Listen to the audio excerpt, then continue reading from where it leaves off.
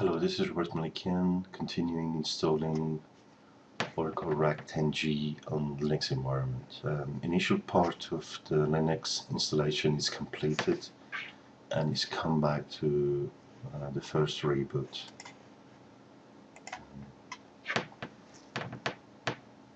This reboot is quite a lengthy one. Um, I will pause the video and come back once we are in a stage that actually we can interface with the next stages of the installation.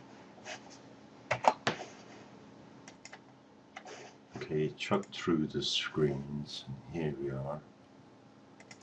Um, we agree with the terms. Timing is good. Let's um, enable the network time protocol. It's quite useful to have um, to be able to have synchronized time between the nodes. Um, we would be able to configure it later on, but as it's only a click away, might as well do it here.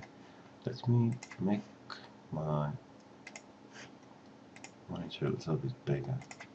Become useful later on to be able to see a little bit more. I will create a user myself to be able to start the processes later on. And I don't want to install anymore. And setup is finished.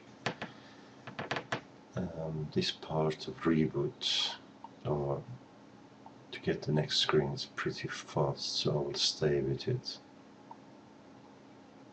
Ah, my screen is a little bit bigger I think we should be able to manage like this.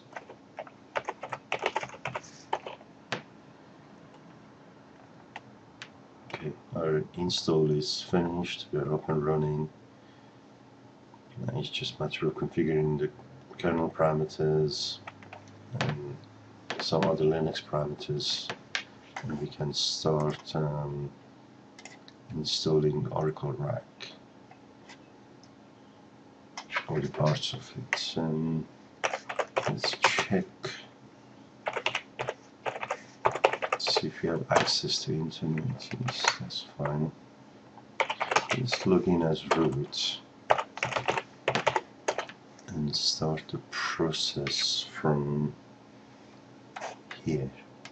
Let's go to Oracle base and pick up from where we have left off.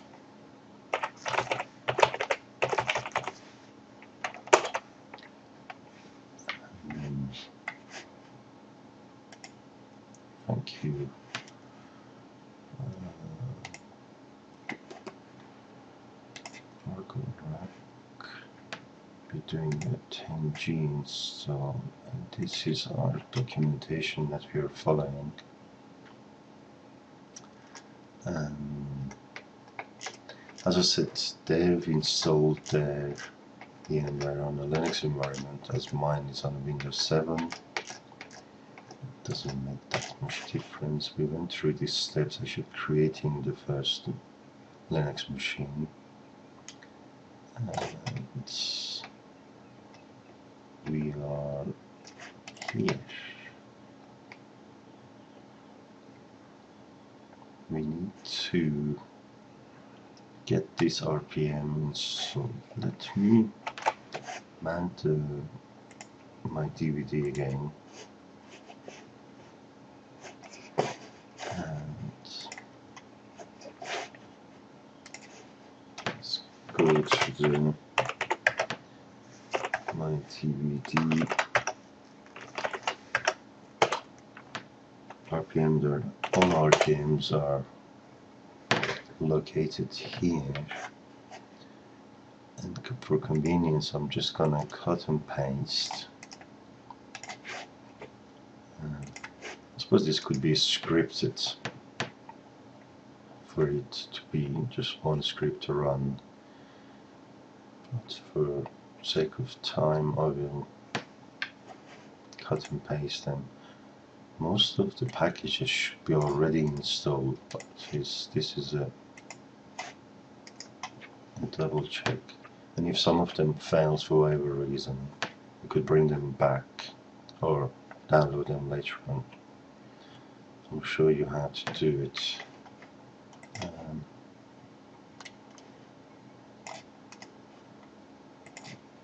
this one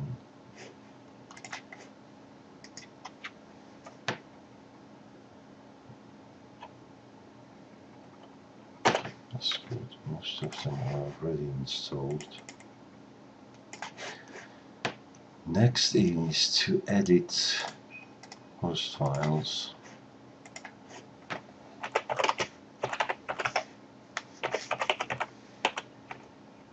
Um, let's just delete all that. Uh, insert.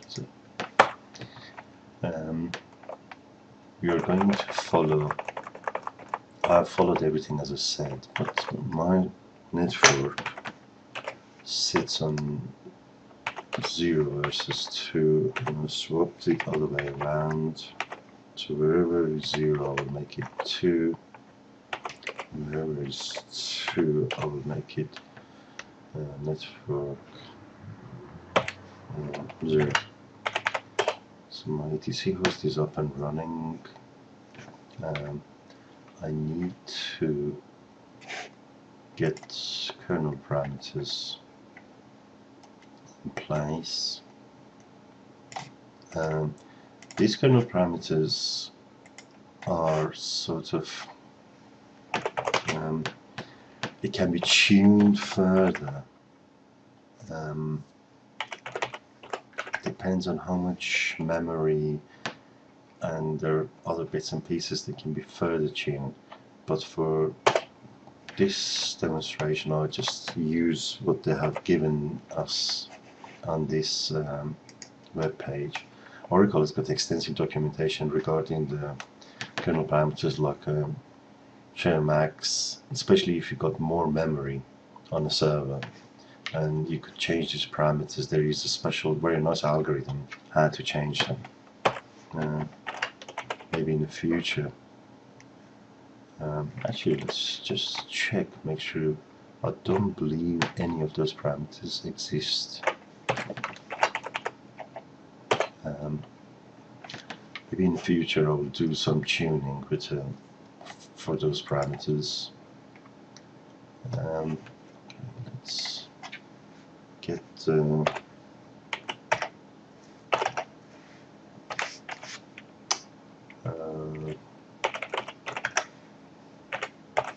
parameters, bring the parameters into environment.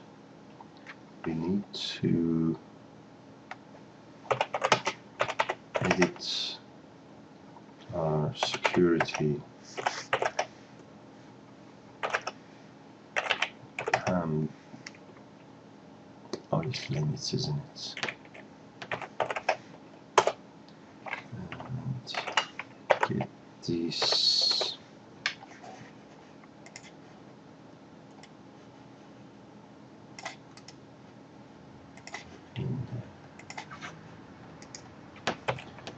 Um, if you never edited this sort of file, quite important. Spacing is quite important. There should be at least a space in here or a tab. And some sysadmins they have special rules and regulations on how to do it. Please follow whichever options you like. Um,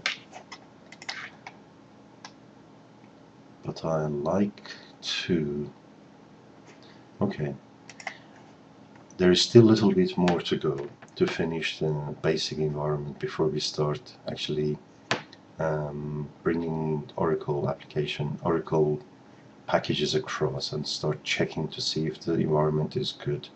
I will stop this um, capture and um, we'll take I will come back and continue with the rest of this install. Okay, this is Robert Malikian installing Oracle 10G Release 2 on a RAC environment uh, on a Linux CentOS 4. Bye for now.